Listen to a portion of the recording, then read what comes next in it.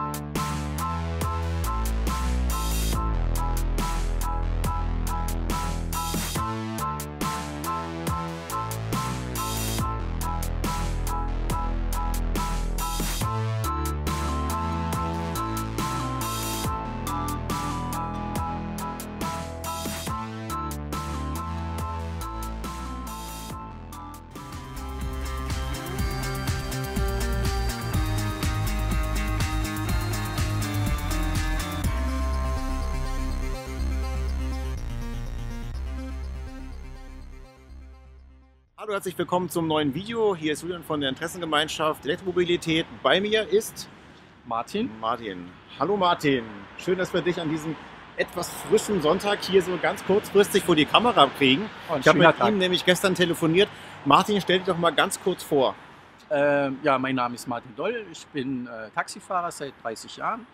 Äh, Fahre seit drei Jahren, seit Ende 2016, äh, den Tesla. Bin sehr zufrieden, toll, tolles Auto. Meine Fahrgäste sind happy, glücklich.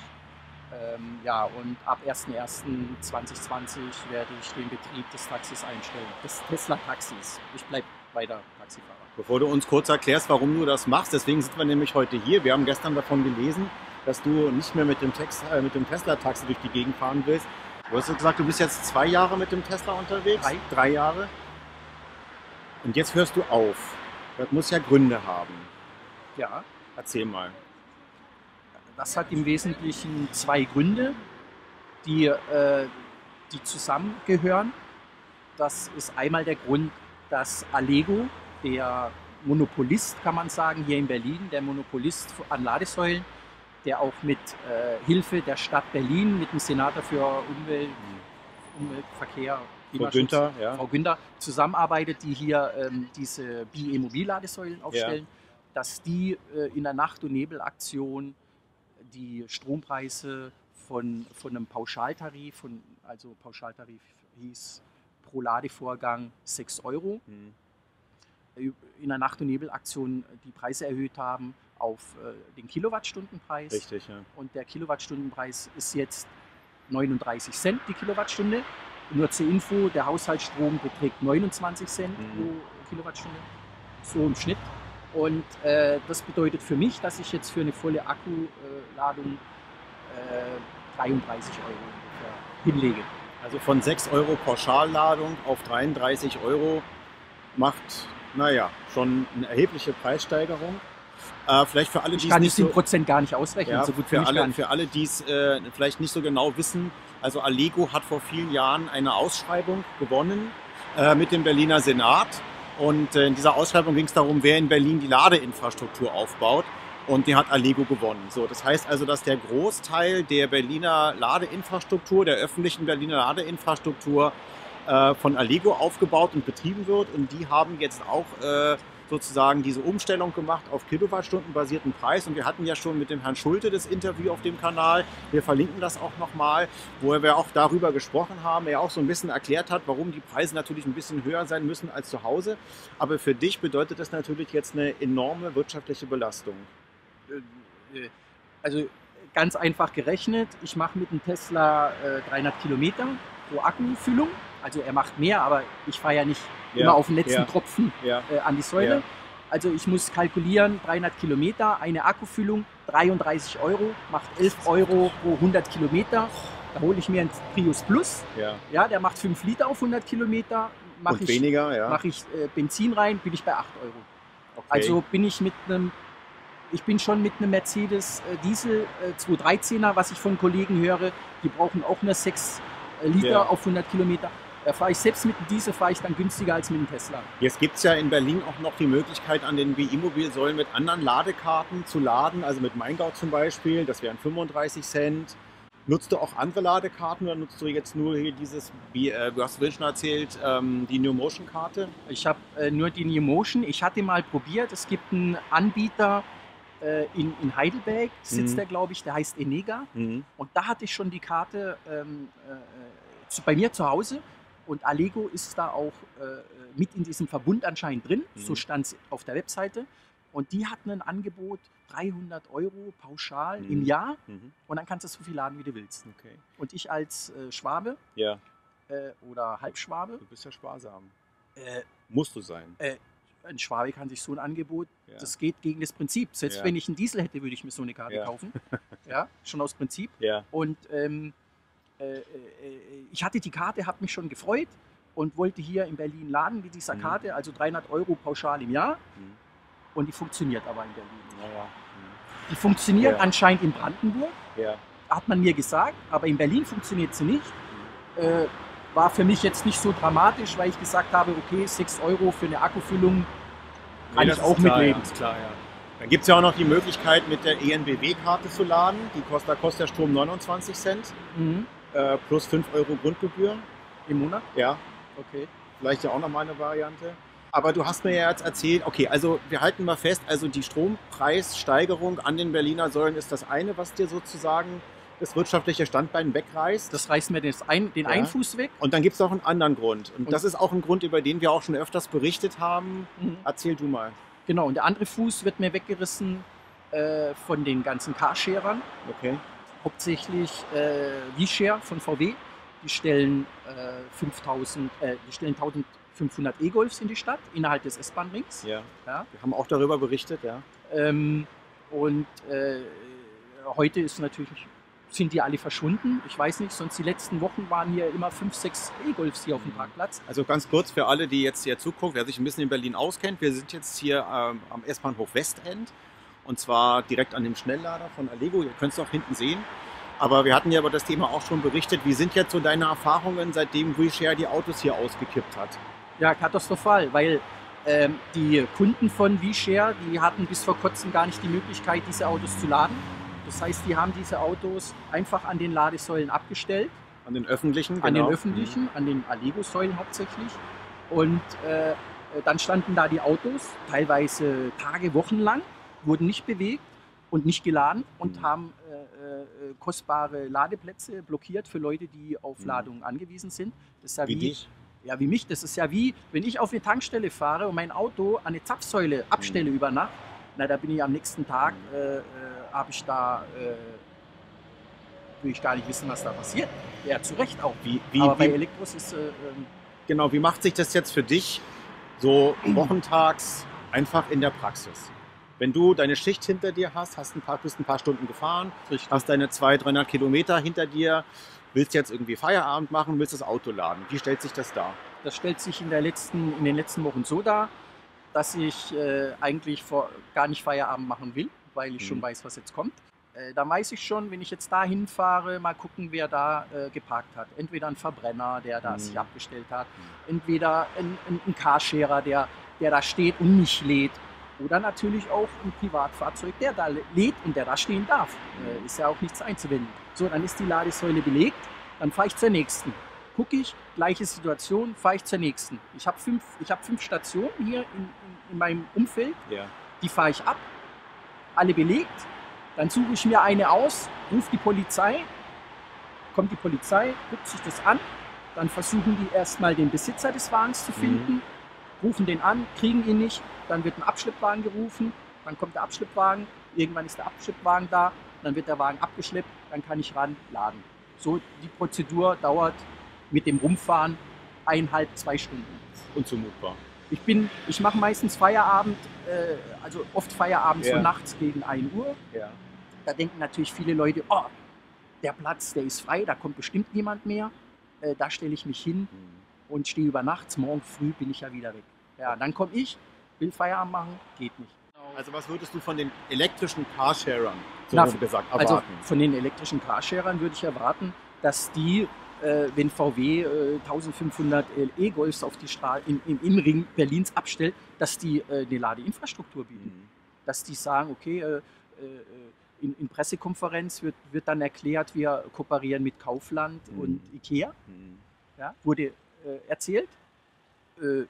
Also wir haben jetzt ein bisschen ähm, Informationen bekommen, dass tatsächlich doch eine ganze Reihe an Schnellladern äh, bei Kaufland jetzt schon aufgestellt wurden, die demnächst irgendwie in Betrieb gehen sollen. Wir wissen aber natürlich noch überhaupt nicht, ob das dann wirklich eine Entlastung bringt, also ob das wirklich dann den Effekt bringt, den du erwartest, dass tatsächlich die Carsharing-Fahrzeuge dann eben nicht mehr an der öffentlichen Ladeinfrastruktur sind. Ich habe jetzt zwei Fragen, die mich noch interessieren. Die eine Frage ist, ähm, Taxi-Innung. Ich meine, viele werden vielleicht sagen so, warum will der Martin unbedingt an der öffentlichen Ladeinfrastruktur laden? Warum kann die Taxi-Innung nicht an den Taxiständen Ladeinfrastruktur aufbauen? Weißt du da ein bisschen was drüber? Äh, ich weiß da äh, sogar sehr viel. Ähm, ich war da mal auf so einem äh, Brainstorming, mhm. Äh, was da veranstaltet wurde. Man hat mich da eingeladen, genau zu dem Thema. Mhm. Und Deutschland ist reguliert bis in den letzten Punkt. Und an Taxihalten dürfen nur Fahrzeuge stehen, die sich bereithalten.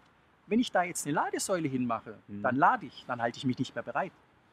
obwohl du, obwohl du jederzeit weiterfahren könntest. Da streiten sich die Juristen, ist es ein Bereithalten oder nicht. Und wenn es ein Bereithalten ist, man muss ja auch, die Taxiordnung sagt, du musst jedes Mal aufrücken. Ja.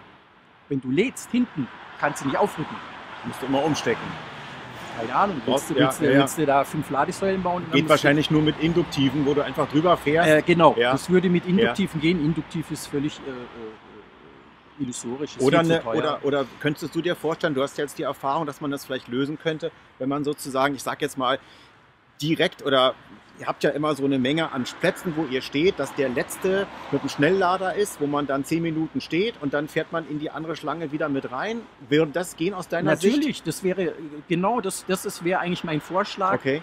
Äh, äh, man fährt dran, man ist äh, hinten ja. im Schnelllader, man, man stöpselt sich an, die anderen rücken vor und die wissen ja dann, wann du dran bist und dann ja. fährst du vor und äh, äh, reißt dich da wieder an. Oder du machst da deine Pause vielleicht in, der, in den 10, 20 Minuten. Das ist dann auch schon wieder kritisch. Wenn okay. du eine Pause machst, dann hältst du dich ja nicht bereit. Okay, ja gut, deswegen sagte ich ja, vielleicht den Schnelllader quasi abseits neben dieser Warteschlange. Äh, natürlich gibt es eine Lösung. Genau, klar. Bloß äh, sobald die Bürokraten damit reingeschaltet werden. Mhm. Äh, ich sehe ja ein und deswegen gibt es auch, also ich bin das einzige Elektrotaxi mhm. in Berlin und auch das einzige Tesla-Taxi. Ja. ja. Und ich kann verstehen, warum die Kollegen nicht auf Elektro umsteigen, ja. weil es keine Planungssicherheit gibt. Und die Leute sagen auch zu Recht, warum sollen gewerblich benutzte Taxen an öffentlichen Ladesäulen laden? Ja, ja sehe ich auch Gleiche Diskussion wie mit dem Carsharing-Fahrzeug. Genau, das ist die gleiche Diskussion wie mit dem Carsharing, worüber ich mich aufrege, könnten die sich auch aufregen, sagen, ja, du bist ja auch gewerblich unterwegs, das ist völlig richtig. Mhm. Also müsste das Taxigewerbe kann es nicht, die haben kein Geld, die Innung schon gar nicht, äh, der Senat auch nicht. Also wer würde die Ladesäulen aufbauen fürs Taxigewerbe? Aber hat die Taxi-Innung nicht, ich meine, guck dir die Diskussion mit Uber an, eine unheimliche Macht und könnte sowas durchsetzen und sagen, hey, wir wollen das jetzt? Also hast du das Gefühl, dass die Taxi-Innung es auch wirklich will oder haben die eigentlich gar nicht so richtig Lust auf Elektromobilität? Die, also ich kenne den Vorsitzenden der, Ta der Taxi-Innung, Herr Leschek, Nadolski, und das ist ein Verfechter, der macht alles, der kämpft. Für Elektromobilität? Für Elektromobilität. Okay. Ja, er selber fährt zwar kein Elektroauto, aber wie gesagt, ja. aus den Gründen, die ich äh, gesagt ja. habe, aber er kämpft für Elektromobilität. Ja. Er hat auch verstanden, wo der Weg hingeht. Das haben viele im Gewerbe noch nicht, aber er hat es. Äh, aber das ist eine Kostenfrage. Hier, so ein Schnelllader. Hm. Was kostet der? 50.000? Wenn, wenn, wenn die Infrastruktur für die Kabel da ist. Wenn die nicht da ist, dann kostet so ein Lader ja, ja, genau. äh, 100.000, genau. 150.000, keine Ahnung. So, wer soll das? Ja. Und dann hast du einen. Ja, klar. Und wir haben 8000 wir haben 8000 Taxen. Und, und Taxen brauchen Schnelllader. Das heißt, eigentlich ist es doch so, wenn ich mir jetzt angucke, so wer in Berlin unterwegs ist, der sieht da eigentlich ist jede zweite Taxi ein Hybrid.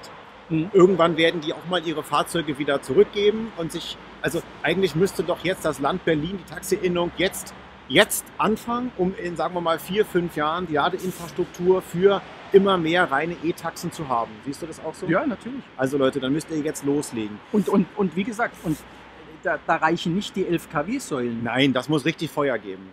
Das müssen Schnellladesäulen ja, ja. sein. Das heißt, ich mache mal eine Pause, 10 Minuten. Also 100 kW Ladeleistung muss das Min also Standard Supercharger. Ja, 50 Minimum, drunter brauchen wir gar nicht Minimum, anfangen. Drunter, und wenn es natürlich mehr ist, mehr geht immer. Und mehr ist natürlich immer besser. Ein Letz-, eine letzte Frage habe ich noch. Vielleicht, auch die, vielleicht kommt auch, würde das auch als, als Frage an dich kommen. Äh, jetzt gibt es ja, oder besser gesagt, es gab ja die Möglichkeit im Rahmen dieser Berliner Ladeinfrastruktur eine private Ladesäule an der Laterne zu beantragen. Hast du das mal gemacht oder hast du darüber mal nachgedacht? Oder hätte dir das was gebracht, wenn du sowas gehabt hättest? Man konnte auch die BE-Mobilladesäulen beantragen. Ja. Der, der Kollege Ralf, der mein Alter, Ja. also mein Kollege mit dem anderen Tesla-Taxi, der hat sich bei sich zu Hause, der wohnt äh, Lichterfelde West, Ja. so eine Ladesäule beantragt, Ja. wurde auch genehmigt. Man hat also bestimmte Kriterien zu erfüllen, wurde genehmigt. Jetzt nicht direkt vor seiner Haustür, da ging es nicht, aber Mhm. in unmittelbarer Nähe. Und äh, äh, hat ein Jahr gedauert. Ein Jahr. Ein Jahr für eine Ladestation an der Laterne. Nee, das ist eine re reguläre. BE-Mobilladesäule. Okay, okay. Äh, hat ein Jahr gedauert. Da spielen drei Behörden mit, Mhm. Bürokraten. Mhm. Ja, drei Behörden und die müssen sich alle zusammenfinden und dann dauert es eben ein Jahr. Aber er hat sie und äh, ich musste so eine nicht beantragen, Ja, weil so viel Schalotten. ja. Ich habe, wie Du gesagt, hättest wahrscheinlich ich, keine ich, bekommen, weil so viel in der Nähe Genau, sind. mittlerweile gibt es Aber jetzt Stück. sind sie halt besetzt, ja. Ich habe fünf Stück in der Nähe, das reicht mir ja auch. Super, Ja, ja. paradiesische Verhältnisse Ja, bis zu dem Zeitpunkt, wo die Carsharer okay. äh, auf den Markt gekommen sind.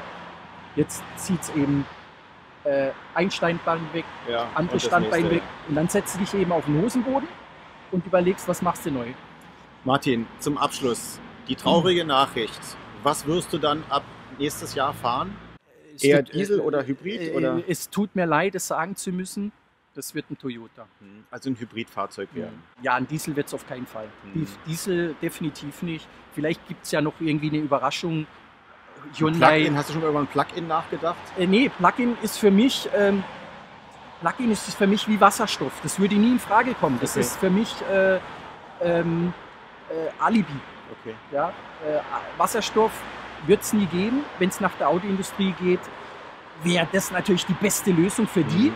Deswegen auch Toyota setzt Mhm. voll äh, auf ähm, Wasserstoff, äh, Wasserstoff äh, äh, konsequent, aber das hat keine Zukunft in meinen Augen. Nicht für, nicht für PKWs, für Schiffe, Mhm. wa- was weiß ich, ja, okay, aber nicht für PKWs. Ähm, Also du machst jetzt quasi erstmal wieder so ein bisschen diesen Schritt zurück zu so einem teilelektrischen, genau, so einem genau, Hybriden, genau, okay. genau. Und dann würde ich sagen, dann müssten wir beide jetzt mal zum Ende kommen und dann werden wir beide jetzt mal wirklich mal klar hier in die Kamera sagen, also es geht jetzt mal wirklich ganz klar in Richtung, ja eigentlich in Richtung Stadt Berlin, in Richtung Verkehrssenator. Ihr müsst bitte zusehen, dass wir in Berlin mehr Ladeinfrastruktur kriegen, damit sowas hier wie bei Martin nicht wieder passiert. Ich hoffe, das Video war für euch interessant. Martin, schönen Dank, dass du Zeit gehabt hast. War mir ein Vergnügen. Und äh, wir müssen jetzt auch weg, weil wir müssen hier einen Platz machen. Vielen Dank, dass ihr zugeschaut habt. Bis zum nächsten Video. Wir sagen Tschüss. Bye, bye. Tschüss aus Berlin.